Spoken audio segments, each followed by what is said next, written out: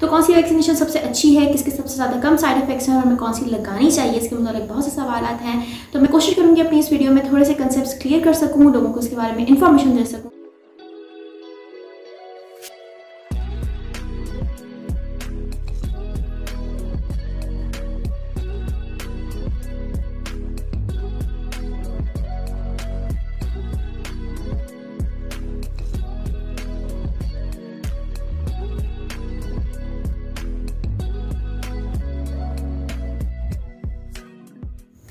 वालेकुम जी, कैसे हैं सब लोग? उम्मीद है कि सब लोग ठीक ठाक होंगे खैर खैरियत से होंगे।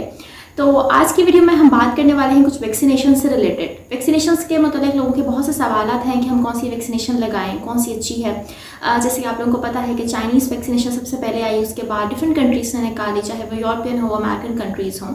तो कौन सी वैक्सीनेशन सबसे अच्छी है, किसके सबसे ज़्यादा कम साइड इफेक्ट्स हैं और हमें कौन सी लगानी चाहिए, इसके मतलब बहुत से सवाल हैं। तो मैं कोशिश करूँगी अपनी इस वीडियो में थोड़े से कंसेप्ट क्लियर कर सकूँ, लोगों को इसके बारे में इन्फॉर्मेशन दे सकूँ। तो चलिए वीडियो स्टार्ट करते हैं। पाकिस्तान में अवेलेबल कौन कौन सी वैक्सीन हैं?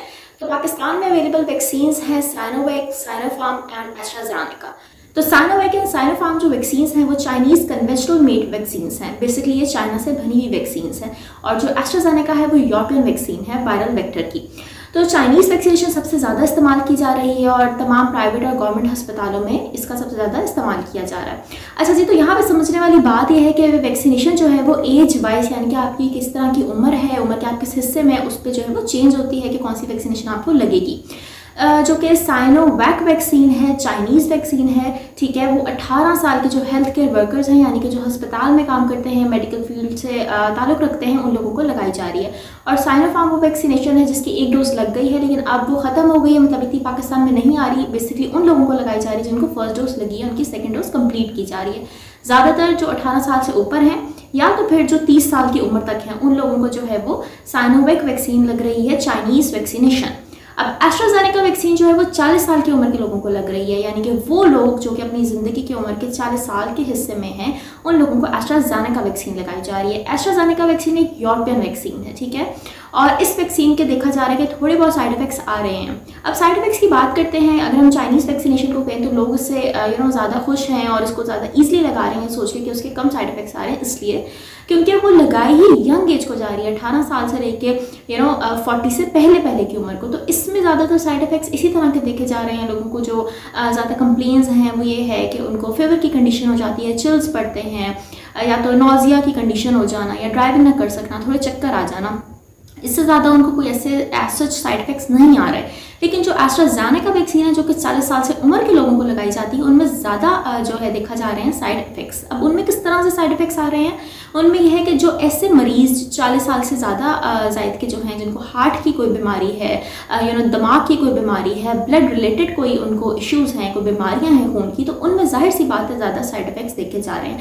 ये बहुत ज़्यादा हाई बूस्टर डोज है। जब इसकी फ़र्स्ट डोज लगाई जाती है तो तकरीबन सेवेंटी टू एट्टी डेज़ का गैप लिया जाता है अगली डोज लगाने के लिए? क्योंकि जो ओल्ड एज पीपल हैं, उनकी बॉडी वो इम्यूनिटी उनकी कम हो जाती है बॉडी कॉम्प्रोमाइज होती है, इस वजह से जो है इस वैक्सीनेशन को थोड़ी सी केयर के साथ लगाया जाता है उनके वाइटल्स को देख के, उनकी ड्रग डिज़ीज़ हिस्ट्री को देखते हुए इसको लगाया जाता है। सबसे ज़्यादा जो है वो यंग एज को, जो 18 ईयर से अबव हेल्थ के वर्कर्स हैं थर्टी या फोर्टी तक के जो लोग हैं, उनको लगाने जाने वाली जो वैक्सीन है वो है साइनोवेक और इसमें ज़्यादा साइड इफेक्ट्स भी नहीं देखे जाते। बाकी जितनी भी अमेरिकन वैक्सीनेशन हो गई जॉनसन एंड जॉनसन की बायोटेक वगैरह तो ये तमाम वैक्सीनेशन पाकिस्तान में अवेलेबल नहीं है, क्योंकि इनके वो मेंटेन करने के लिए बहुत ज़्यादा हाई टेम्परेचर कंडीशन रिक्वायर्ड हैं और पाकिस्तान इसको इतना अफोर्ड नहीं कर सकता है कि अवेलेबल नहीं है। दुख की बात है कि सऊदिया जिन वैक्सीनेशन को अप्रूव करती है, वो है ही अमेरिकन वैक्सीनेशन या तो फिर यूरोपियन वैक्सीनेशन वो चाइनीज़ वैक्सीनेशन को एक्सेप्ट नहीं करती। तो अगर आप ट्रैवल करने का सोच रहे हैं और ट्रैवलिंग वीज़ा या स्टूडेंट वीज़ा आपको रिक्वायर्ड है तो इसके लिए जब वैक्सीनेशन की आपने इन्फॉर्मेशन देनी है तो उसमें जो है वो आप एक्सेप्ट करेंगे एस्ट्राजाने का या तो फिर यूरोपियन या ईस्टर्न वैक्सीन को, जो कि पाकिस्तान में अवेलेबल नहीं है। हम उम्मीद करते हैं कि बहुत जल्द सऊदिया भी इस चीज़ को एक्सेप्ट कर ले और चाइनीज़ वैक्सीनेशन लगाना आम कर दे और इसके साथ आप वीज़ा इसलिए ट्रैवलिंग भी कर सकें इसी तरह से पाकिस्तान में भी डिफरेंट तरह की वैक्सीनेशन भरने लगी हैं। होपफुली देखते हैं कि उसके किस तरह के इफेक्ट्स आते हैं। और लोग ज़ाहिर है थोड़ा डरे हुए हैं तो पाकिस्तानी वैक्सीनेशन लगाने से वो थोड़ा एहतियात करते हैं। लेकिन एज सच को साइड इफेक्ट्स या कोई चीज़ इस तरह से नहीं देखी जा रही। और आपकी वैक्सीनेशन यकीन आपकी एज के अकॉर्डिंग लगती है, आपकी डिज़ीज़ हिस्ट्री के अकॉर्डिंग ड्रग हिस्ट्री के अकॉर्डिंग लगती है। तो ये वो तमाम वैक्सीनेशन रिलेटेड मालूम थी कि कौन कौन सी वैक्सीनेशन हमारी मार्केट में अवेलेबल हैं एज अकॉर्डिंग कौन सी लग रही है, कितने गैप से लग रही है, कितनी डोज से लग रही है। तो थोड़ी बहुत इन्फॉर्मेशन मैंने आपको देना चाहिए उम्मीद करती हूँ कि आप लोग भी प्रॉपर टाइम पर अपनी सही से वैक्सीनेशन करवाएँगे डेज़ का गैप लेंगे। चाहे आप गवर्नमेंट हॉस्पिटल से करवाएँ प्राइवेट हॉस्पिटल से करवाएँ और जितना हो सके वैक्सीनेशन करवाएँ ताकि आप इस कोरोना से महफूज रह सकें और अपनी सेहत का ख्याल रखें। तो इसके साथ ही अगली वीडियो में मुलाकात होगी। हम फिर एक नए टॉपिक पे बात करेंगे। उम्मीद करती हूँ कि इस वीडियो से आपकी थोड़ी अवेयरनेस हो सकी होगी और अगली वीडियो में हम दोबारा से किसी हेल्थ रिलेटेड टॉपिक पे बात करेंगे। अल्लाह हाफिज़।